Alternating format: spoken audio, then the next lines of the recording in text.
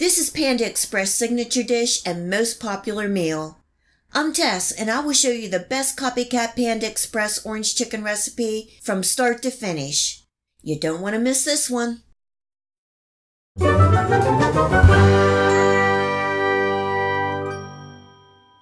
I've tried a couple different recipes, and this homemade Panda Express orange chicken recipe I think is the best.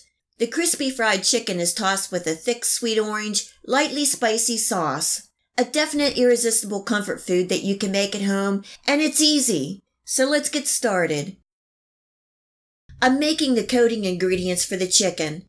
In my bowl, I'm adding a half a cup of flour, a half a cup of cornstarch, a quarter teaspoon of salt, and about an eighth of a teaspoon of white pepper. If you don't have white pepper, you can use black pepper giving that a good mix to incorporate. In another bowl, I have two eggs and I'm seasoning with salt and white pepper, giving that a good whisk. You will be able to find this recipe in the list of ingredients in the Show More section below. If you click on the word Show More, it will open and reveal this recipe, links where you can purchase some of the items that I use, and much, much more. If you have a chance, please check it out. I have about two pounds of bite-sized boneless chicken thighs that I'm dredging first in the eggs and then coating with the flour cornstarch mixture. Make sure that you coat the chicken thoroughly.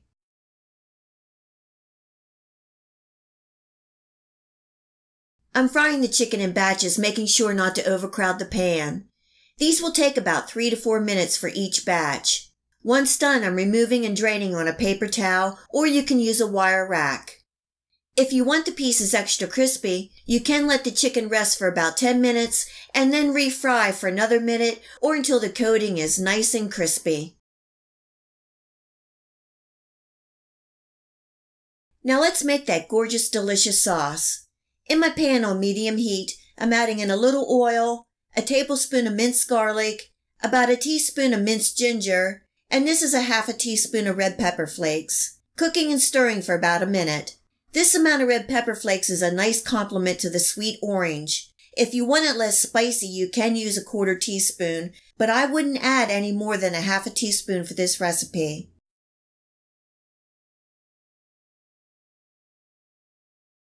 This is a half a cup of fresh orange juice, and I'm giving that a stir.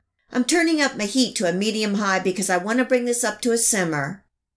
Next is a couple tablespoons of light soy sauce, a quarter cup of rice vinegar, and a quarter cup of water, giving that a good stir. This is the zest of an orange, which is about two teaspoons. This really adds the bright orange flavor to this dish. This is one third cup of honey, and you can use sugar if you like. Finally, I'm adding in a half a teaspoon or a drizzle of sesame oil, bringing that up to a simmer and cooking for about a minute.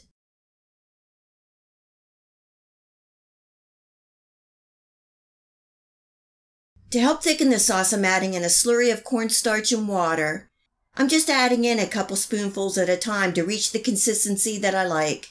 When the sauce thickens and does not come together quickly when you stir, it is ready.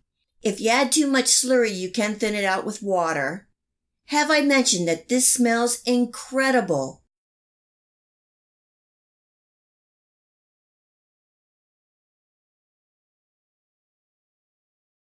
Now I'm adding in the chicken and tossing to make sure every nook and cranny of the chicken is coated with that delicious sauce. And it's ready to eat. This Copycat Panda Express orange chicken is so good. Tastes just like the takeout. The chicken is tender and has a lightly crispy coating. The sauce is just out of this world. If you've ever had Panda Express orange chicken, then you know what I mean.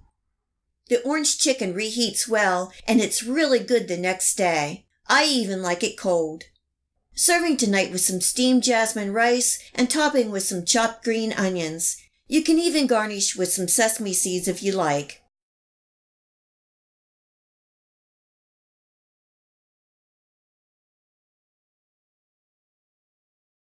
I have a copycat video recipe for Panda Express mushroom chicken that is also easy and good. If you have a chance, please check it out. I will leave a link here and in the show more box below this video. If there is another Panda Express recipe that you would like to see me recreate, please leave a comment below. I hope you give this Copycat Panda Express orange chicken recipe a try, and I know you will enjoy. If you like this video recipe, please hit the like and subscribe button. Remember to hit the bell next to the subscribe to make sure that you get my future video recipes. You can also find me on Facebook and at my website. Feel free to share this recipe and my channel with your friends and family. And until next time, much love!